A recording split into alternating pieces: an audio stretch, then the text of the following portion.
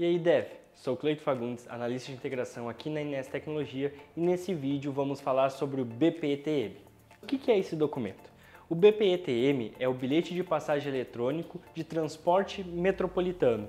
Ele é um documento específico para a emissão durante uma linha de ônibus. Por exemplo, quando você tem uma linha de ônibus e essa linha faz viagens intermunicipais ou até mesmo dentro da cidade e isso é necessário emitir esse BPETM. Mas como é feito e quando é feito a emissão do BPTM? Vamos a um exemplo prático.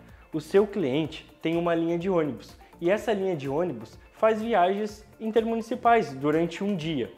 E, por exemplo, no final do dia, quando esse ônibus retorna à garagem, tem todas essas emissões, todas essas passagens que foram cobradas durante todo o percurso, durante toda a linha, durante todo esse dia. E o que fazer com isso? Ao final do dia é emitido o BPETM, que esse BPTM vai ter todos os dados necessários referente a todas essas passagens.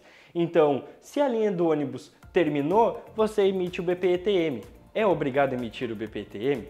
Bom, o BPTM ele fica de responsabilidade do emissor, claro, mas também da UF autorizadora. Então você tem que verificar se a UF autorizadora, o seu estado, obriga ou não a emissão desse documento. Mas é muito importante estar atento a isso, porque se for obrigatório, você deve emitir e até mesmo o prazo é um pouco diferente. Então, o BPETM, inclusive, em alguns estados, tu pode emitir em até 24 horas depois do final do percurso. Então, se a linha acabou hoje de noite, por exemplo, o que, que acontece? Você pode emitir até o final da tarde do próximo dia o BPETM referente a essas passagens do dia anterior.